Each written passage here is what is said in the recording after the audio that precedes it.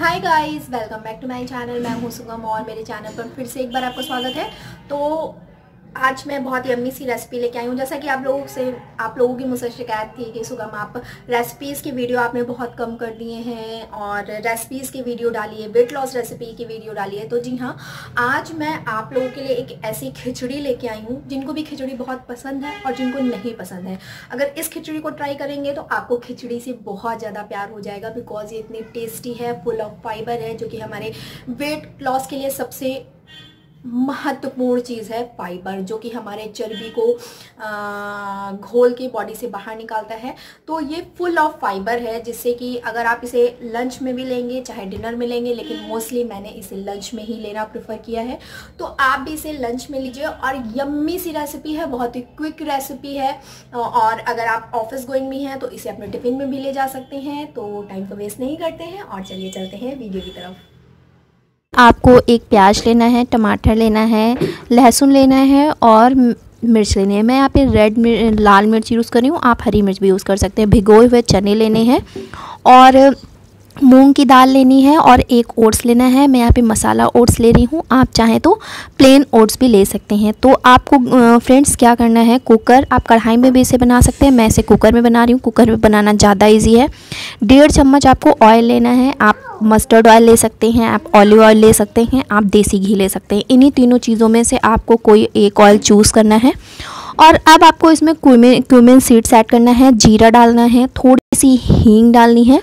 Friends यहाँ पे आप बिना छिलके वाली दाल भी यूज़ कर सकते हैं, लेकिन छिलके वाली दाल में ज़्यादा मात्रा में प्रोटीन होता है और ये फाइब्रस भी ज़्यादा होती है, इसलिए मैं छिलके वाली दाल यूज़ करती हूँ। अब आपको इसमें लहसुन डालना है और मिर्च डालनी है और इन सबको बहुत अच्छे से आपको फ्राई करना है, यानी कि जब तक लहसुन अच्छे से रेड ना हो जाए। तो फ्रेंड्स इसे तब तक फ्राई करना है जब तक लहसुन रेड ना हो जाए।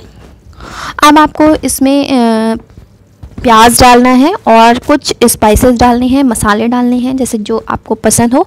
मैं यहाँ पे हल्दी पाउडर और धनिया पाउडर डालूँगी और क्योंकि ऑलरेडी मैंने मिर्च डाल दी है, इसलिए मैं मिर्च नहीं डालूँगी। अगर आप लोग तीखा खाना ज़्यादा पसंद करते हैं तो आप मिर्च इसमें और ऐड कर सकते हैं। तो आ, मेरा जो प्याज है वो थोड़ा सा रेड हो जाए। अब मैं इसमें स्पाइसेस ऐड कर रही हूँ मैं इसमें धनिया ऐड कर रही हूँ हल्दी ऐड कर रही हूँ। और फिर आपको मसालों को अच्छे से भून लेना है देन आपको टमाटर डालना है क्योंकि ऑयल हमने कम डाला है इसीलिए टमाटर की हेल्प से ही हम मसालों को पकाएँगे। और थोड़ी देर ढक सो ढक के हम इसलिए पकाएँगे ताकि भाप में जो मसाले अच्छे से पक जाएँ, क्योंकि ऑयल ऑलरेडी कम है, इसलिए भाप के ज़रिए सारे मसाले पकेंगे और टमाटर भी अच्छे से मैश हो जाएँगे। इसके बाद अब आप आपको चने इसमें डालने हैं। अपनी दाल है, जो दाल है आपको डालनी है और इसके बाद आपको ओट्स डालना है। लगभग मैं हाफ़ बाउल जो है, वो ओट्स ले रही हूँ। आप प्लेन ओट्स भी यूज़ कर सकते हैं, बस ये साला ओट्स है, इसलिए इसमें इसमें जो है स्पाइसेस ऑलरेडी पड़े हुए हैं। आपको लगभग एक से डेढ़ ग्लास जो है पानी डालना है। देन आपको टू सीटी टू थ्री फोर तक सीटी लगानी है, जिससे सारी सब कुछ अच्छे से मिक्स हो जाए।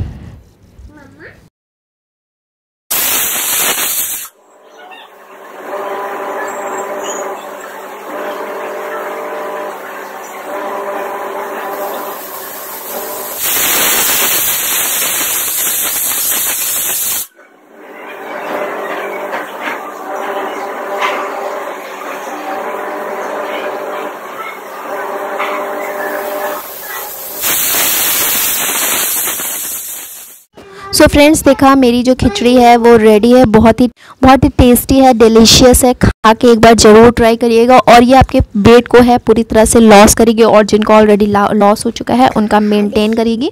तो अब मैं इसका जो है, वो मज़ा लेने जा रही हूँ, आप ही बनाइए और खाइए। तो फ्रेंड्स देखा, बहुत ही क्विक बहुत ही यम्मी सी और फुल ऑफ़ फाइबर की रेसिपी है। तो एक बार ज़रूर ट्राई करिएगा रिव्यू मेरे साथ भी ज़रूर शेयर करिएगा कि आपने कौन कौन से मसाले इसमें ऐड किए, आपने इसमें क्या ट्विस्ट दिया। वीडियो जरा सा भी इंफॉर्मेटिव लगा हो तो लाइक कर दीजिएगा चैनल पसंद आया हो तो फटाफट से सब्सक्राइब करिएगा। तो मिलती हूँ बहुत ही जल्दी एक नए वीडियो के साथ, तब तक के लिए बाय